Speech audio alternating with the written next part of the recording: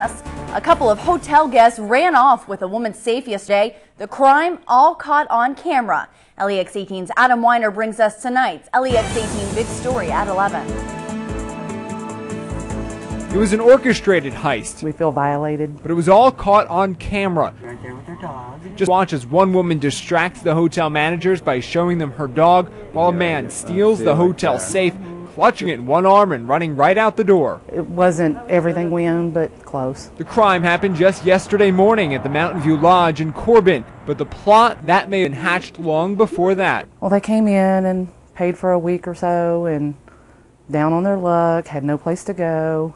We said we would, you know, let them stay, put them to work. That was five months ago, and since that time, hotel management befriended the couple, who they identified as Billy Wright and Juanita Day. We have taken in many, many people um, down on their luck, whatever. Try to be nice to them. Their good nature was taken advantage of, says manager Teresa Kranz. Now they just want to warn other hotel managers. We got to thinking, you know, the more people that know about it, maybe the next person won't get hit, and they will hit again. I mean, there's no doubt.